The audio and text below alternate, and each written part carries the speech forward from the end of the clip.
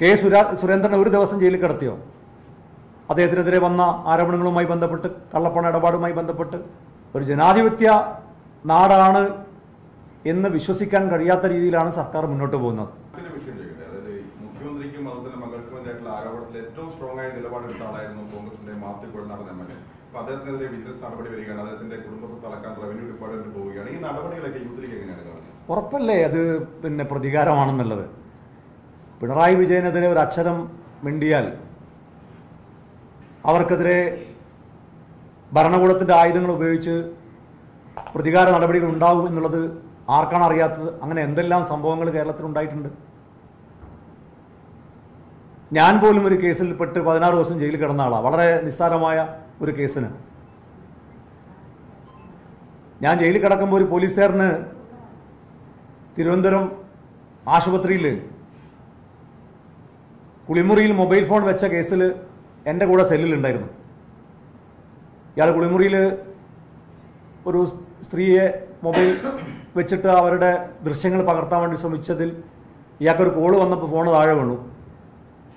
അപ്പോൾ ആ ഫോണ് അവർ ആ സ്ത്രീ കണ്ടെടുത്തു. അങ്ങനെ അയാളെ പിടിച്ചു. ഒരു പോലീസുകാരനാണത് ചെയ്തത്. നാലാമത്തെ ദിവസം അയാൾക്ക് ജാമ്യം കിട്ടി. എന്റെ സെല്ലിലാണ്.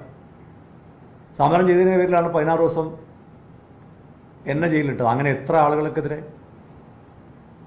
മാത്യു കുഴൽനാടിനെതിരെ കെ സുധാകരനെതിരെ വി ഡി സതീഷിനെതിരെ കെ എം ഷാജിക്കെതിരെ.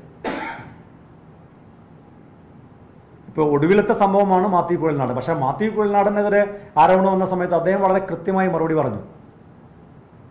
പക്ഷെ മുഖ്യമന്ത്രിയുടെ കുടുംബത്തിന് നേരെ ഒരു ആരോപണം വന്നപ്പോൾ എന്ത് നിലപാടാണ് മുഖ്യമന്ത്രി സ്വീകരിച്ചത്? സി പി എം എങ്ങനെയാണ് അതിനെ സമീപിച്ചത്?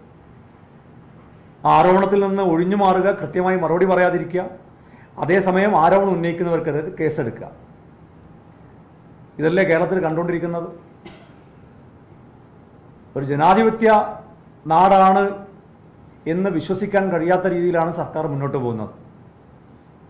അതിന്റെ ഒടുവിലത്തെ സംഭവമാണ് മാത്യു കുലനാടിനെതിരെയുള്ള ഇപ്പോൾ നടക്കുന്ന ഈ നീക്കങ്ങൾ. ഈ അനധികൃത സ്വത്തുമായി ബന്ധപ്പെട്ട് കേരളത്തിലെ ചിലപ്പോൾ ഏറ്റവും കൂടുതൽ വേട്ടയാടപ്പെട്ട ആൾ കെ എം ഷാജി ആയിരിക്കും. അതായത് യൂത്ത് ലീഗിന്റെ പഴയ. അപ്പൊ ഈ വിഷയത്തിൽ യൂത്ത് ലീഗിന് മാത്യു കുളനാടനെ സപ്പോർട്ട് ചെയ്ത് പറയുക എന്നുള്ളതല്ലാതെ ഇതിനകത്ത് വേറെ എന്തെങ്കിലും ഇടപെടലുകൾ യൂത്ത് ലീഗിന്റെ ഭാഗത്തുനിന്ന് ഉണ്ടാവാൻ സാധ്യതയുണ്ടോ? അല്ല ഇത് പിന്നെ ജനങ്ങൾക്കിടയിൽ ഇത് ചർച്ചയാക്കും തീർച്ചയായിട്ടും. കാരണം ഇതെല്ലാം ഈ കേരളം നമ്മളിപ്പോഴും ജനങ്ങളിലാണല്ലോ വിശ്വാസമുള്ളത്. ഞങ്ങളൊരു വലിയ ക്യാമ്പയിൻ തന്നെ ആരംഭിച്ചിട്ടുണ്ട്. സർക്കാരിന്റെ ഈ ദുർഭരണത്തിനെതിരായി അതുപോലെ തന്നെ ഈ പകപോക്കൽ രാഷ്ട്രീയത്തിനെതിരായി കേരളത്തിൽ വലിയ ക്യാമ്പയിൻ. എല്ലാ ജില്ലകളിലും ഞങ്ങൾ പദയാത്ര ജില്ലാ കമ്മിറ്റികളുടെ നേതൃത്വത്തിൽ പദയാത്ര നടത്താൻ പോവാണ്. അതുപോലെ എറണാകുളത്ത് വലിയ മഹാറാലി നടത്താൻ പോവുകയാണ് ഒപ്പം അതോടൊപ്പം വലിയ സമരങ്ങളുമായിട്ട് നിരന്തരമായി സമരങ്ങളുമായി ജനങ്ങൾക്കിടയിൽ വിഷയം ചർച്ചയാക്കാൻ വേണ്ടി തീരുമാനിച്ചിരിക്കുകയാണ്. അപ്പോൾ ഈ വിഷയം ജനങ്ങൾക്കിടയിലേക്ക് എത്തിക്കുക എന്ന പരമാവധി ജനങ്ങളിലേക്ക് ഈ വിഷയങ്ങൾ എത്തിക്കുക ജനകീയ വികാരം അനുകൂലമാക്കുക എന്നൊരു നിലപാടാണ് ഞങ്ങൾ ഇക്കാര്യത്തിൽ സ്വീകരിച്ചിട്ടുള്ളത്.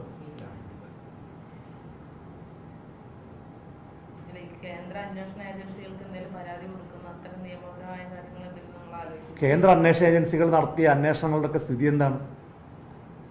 അപ്പം മുമ്പ് സ്വർണക്കടത്തുമായി ബന്ധപ്പെട്ട് കേന്ദ്ര അന്വേഷണ ഏജൻസികൾക്ക് വിവിധ പരാതികൾ ലഭിച്ചപ്പോൾ അവസാനം ഈ കേന്ദ്ര അന്വേഷണ ഏജൻസികളൊക്കെ എവിടെയാണ് ആ കേസ് അട്ടിമറിക്കപ്പെട്ടത്? ആ കേസിന്റെ ഇപ്പോഴത്തെ സ്ഥിതി എന്താണ്?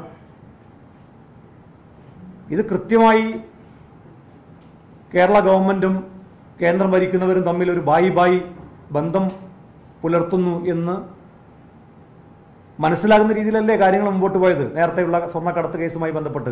കേരളത്തിലെ ബി ജെ പി നേതാക്കൾ പോലും ഇപ്പോൾ ഒരക്ഷരം ഉണ്ടെന്നില്ലല്ലോ കെ സുരാ സുരേന്ദ്രനെ ഒരു ദിവസം ജയിലിൽ കിടത്തിയോ? അദ്ദേഹത്തിനെതിരെ വന്ന ആരോപണങ്ങളുമായി ബന്ധപ്പെട്ട് കള്ളപ്പണ ഇടപാടുമായി ബന്ധപ്പെട്ട്. ശബരിമല കേസിൽ തന്നെ ബി ജെ പിയെ സഹായിക്കാൻ വേണ്ടിയിട്ടാണ് അദ്ദേഹത്തെ കേസിലാക്കിയത്.